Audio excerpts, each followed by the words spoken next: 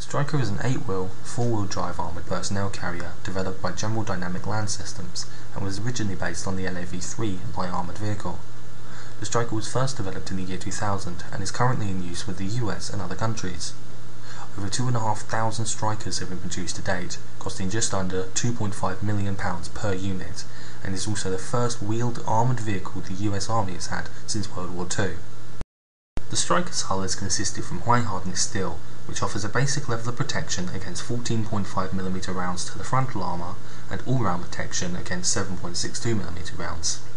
In addition to this, Strykers are also equipped with bolt-on ceramic armour, which offers all-round protection against 14.5mm rounds, armour-piercing ammunition, and artillery fragments from 152mm rounds.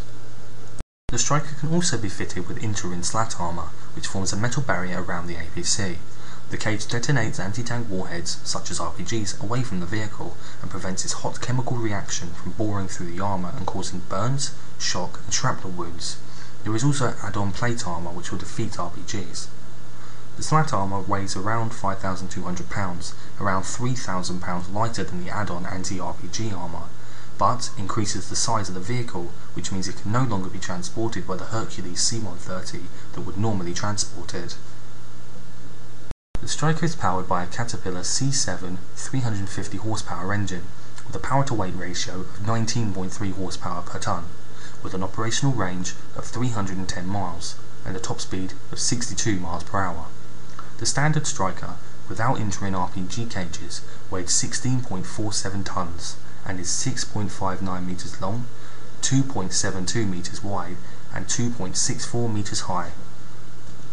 The Stryker comes in many variants, such as the standard M1126 infantry carrying vehicle with the Protector M151 remote weapon station, armed with either a 50 cal M2 Browning machine gun, a 40mm Mark 19 grenade launcher or a 7.62mm M240 machine gun and can transport up to 9 infantrymen.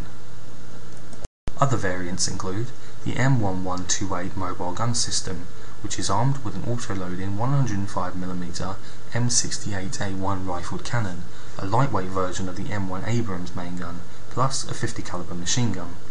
The M1129 mortar carrier armed with a Soltam 120mm mortar, the M1134 anti-tank vehicle, which can fire TOW missiles, as well as medical evacuation variants, nuclear, biological and chemical reconnaissance variants, and engineer variants, as well as many others.